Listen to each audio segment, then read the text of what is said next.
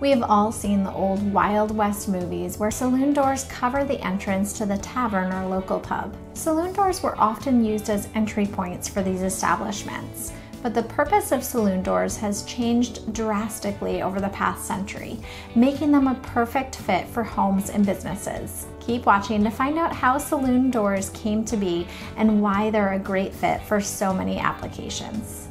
History.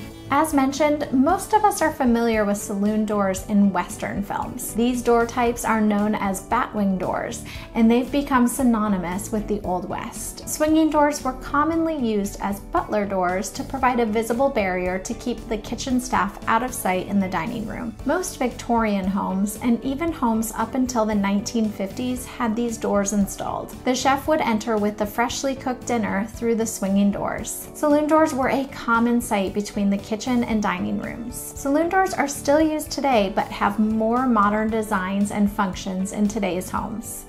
Barriers. In today's home, these same saloon doors serve a variety of purposes. Now, these same saloon doors are being installed as decorative, more durable, and trendy pet or baby gates. Swinging door functionality with a simple latch allows for pets or babies to be kept out of select areas. These saloon doors can be mounted very close to the floor with a latch to keep them locked.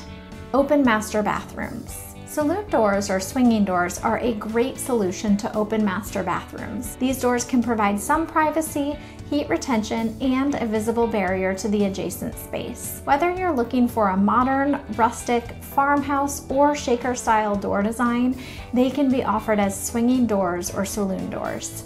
Kitchen doors. Many people still prefer to close off the kitchen from the dining room. These doors can still provide a great solution for a kitchen. They no longer have to be full length and can be made in a variety of heights and widths to accommodate all the different opening sizes. These doors can still provide the visual barrier you desire while maximizing mobility between the spaces. Today's modern version of the butler doors.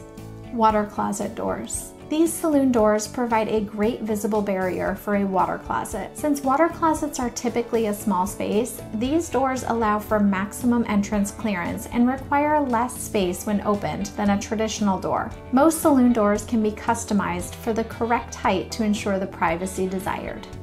Laundry room doors. These are very common in new laundry rooms that are sometimes open to the rest of the house. Again, a great visible barrier, but still allows light and air to flow through. Since these doors don't need handles or knobs, you can simply walk through them with a laundry basket in hand, making them a perfect solution for your laundry room space. Pantry. These doors have double action swinging hinges, so the doors will self-return to center. The perfect solution for a pantry door. You can carry all the baking supplies and simply walk through the doors, no more knob to open or close. The design options are plentiful and we continue to add more saloon door styles each month. Business. Saloon doors are offering their versatility once again in 2020 and are a great option to help with the current COVID pandemic. Adding these doors allows traffic to move through without touching a door handle and provides separation of space while aiding in mobility. These doors will work great in dental and doctor offices or any space that requires access and separation between adjoining spaces. Whether you came here to learn about the history of swinging doors, saloon doors, cafe doors, or you wondered whether they are still used today, we hope you see the different functions these doors can serve. Many different styles are available in saloon doors, so come browse our selection today. And if you like this video, make sure to like, comment, and subscribe for more.